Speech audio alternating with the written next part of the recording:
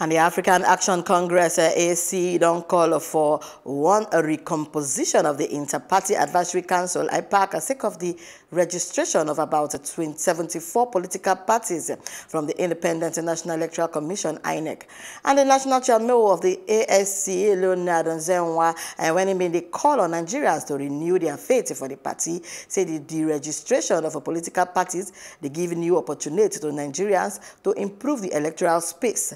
Mr. Nzenwa Yahana say even as they recognize eh, of just 18 political parties from INEC, the remaining political parties must form one common front and where they aimed at to take a, improve the quality of lives of Nigerians. All our colleagues, they're all our friends. We have been in this race all for this time, this period, but we've just got to move on.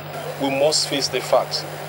There is 18 political parties that are existing and we've got to find a way to see how we can work together to move ahead. It is not that we are saying that our colleagues who are registered are not part of the system, but what we're saying essentially is that the 18 are the legally registered and the ones that the stakeholders recognizes and should partake and be involved in political process and development of this country. For now, Nigerians should look forward for an IPAC that inspires all stakeholders.